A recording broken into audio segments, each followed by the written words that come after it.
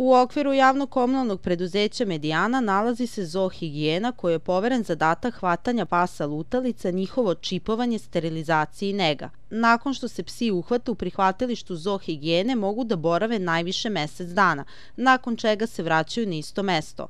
Kako kaže zoohigijena, ovo nije trajno rešenje jer je potrebno primenjivati zakon o dobrobiti životinja koji je usvojen još 2010. godine.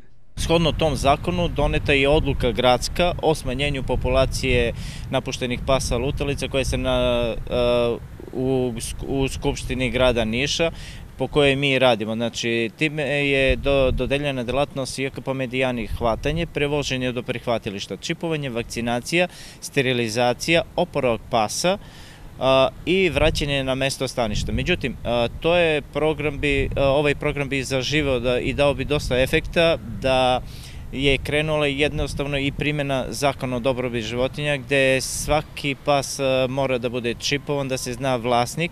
Prema zakonu o dobrobiti životinja, samo registrovane odgajivačnice mogu da se bave uzgojom pasa. Svi psi moraju biti čipovani i sterilisani. Ovom primjenom smanjila bi se populacija pasa lutalica jer smo na sastanku gde smo bili u Svrljigu oko izgradnje regionalnog prihvatilišta, gde bi kapacitet tog prihvatilišta zadovoljavao potrebe grada Niša, Svrljiga, opštine Knjaževca, Sokobanje i Aleksinca. Najverovatnije da bi to trebalo da se uključi i Ražanj.